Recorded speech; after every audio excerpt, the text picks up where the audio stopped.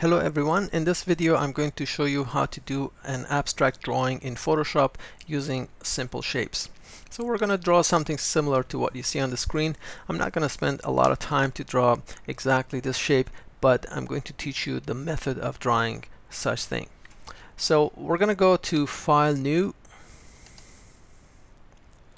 I'm going to uh, choose 1024 768 and make sure artboard is not checked. For the background color, we're going to choose black and then we're going to click create. Alright, I'm going to obviously I'm going I'm going to need a lot of rectangles. So we're going to pick up the rectangle tool.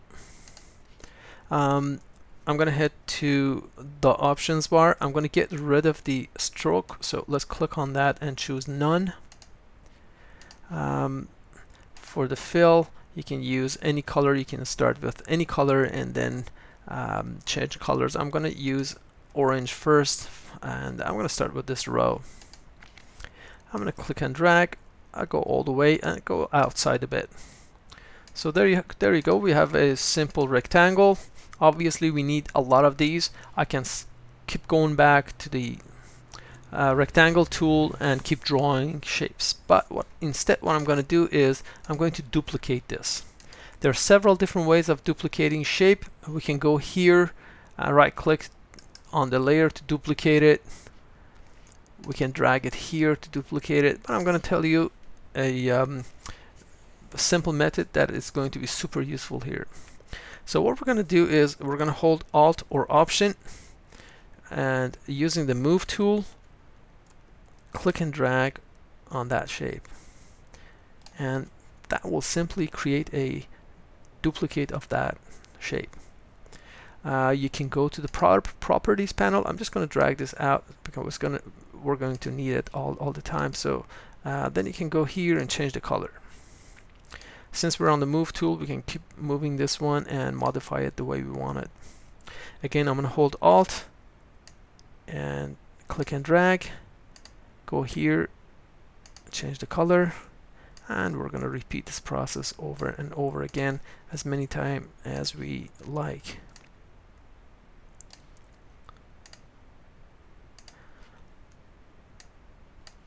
I'm just uh, choosing a really simple path of uh, selecting colors by going to this row of colors on their property panel.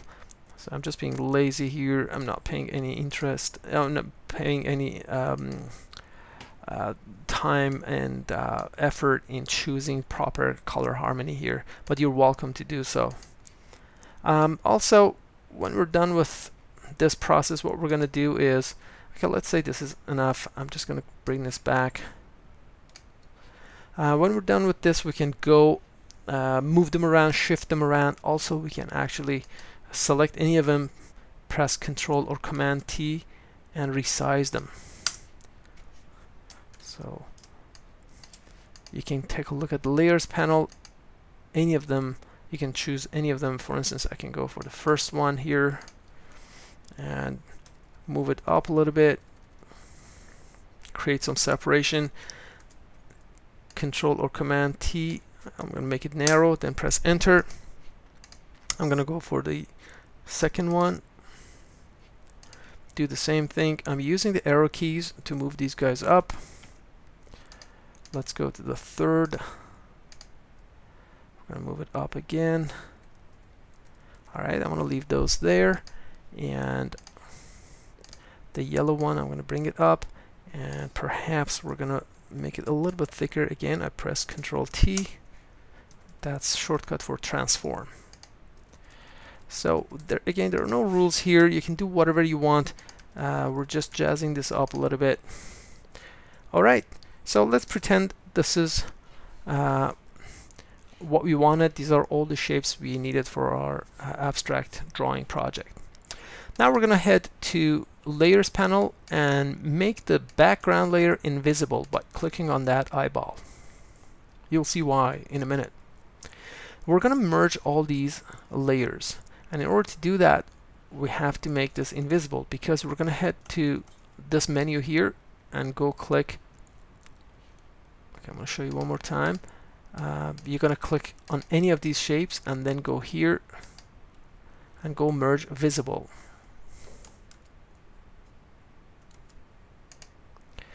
and now you see all of them are merged to one shape. So we're going to bring the visibility of the background back.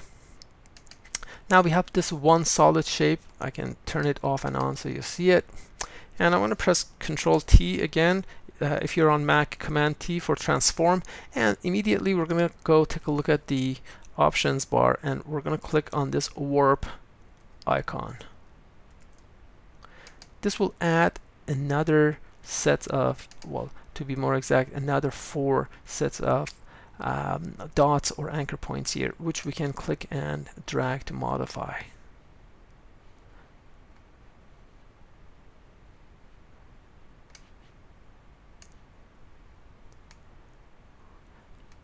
Keep in mind this is uh, destructive editing, meaning anytime you're done with it, you press return or enter and you're done. You cannot modify this again. If you wanted to um, edit this, uh, you need to press Control Z or Command Z, which is an undo, and try it again. And um, this is basically the whole method. Again, um, you can come up with any number of shapes, any color set you want, and uh, modify it uh, to, to your taste. Uh, but the whole uh, uh, process is quite the same. So I hope you enjoyed the video. Thank you for watching.